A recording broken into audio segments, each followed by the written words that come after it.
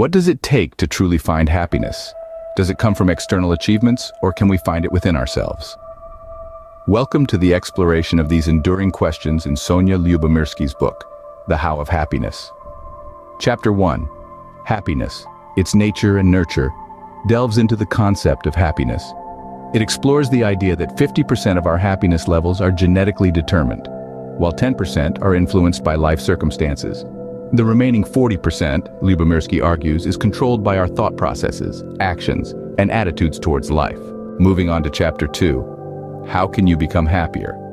Here the author introduces research-based happiness-increasing strategies.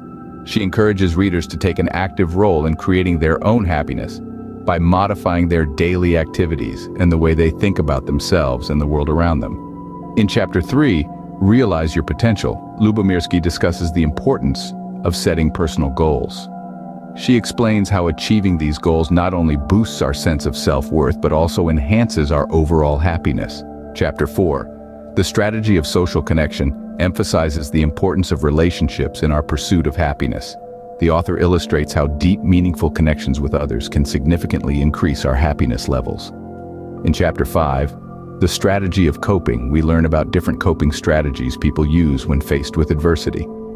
Lyubomirsky suggests that the way we handle life's challenges can affect our happiness. Chapter 6, The Strategy of Forgiveness, explores the liberating power of forgiveness. The author encourages readers to let go of grudges and resentment as they only serve to decrease our happiness. Living in the present, the seventh chapter, emphasizes the importance of mindfulness. Lyubomirsky argues that being fully present and engaged in our current activities can greatly enhance our happiness. The last chapter, the how, what, when, and why, concludes the book by summarizing the key strategies for increasing happiness.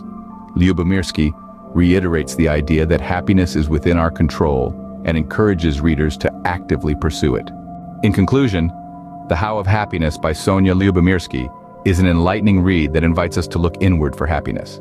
It challenges the conventional wisdom that happiness is only derived from external circumstances, and instead places the power to be happy squarely in our hands.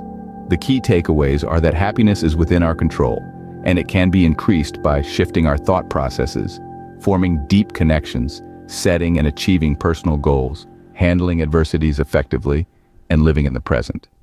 The pursuit of happiness is an ongoing journey, but with the right strategies, it is a journey well within our reach.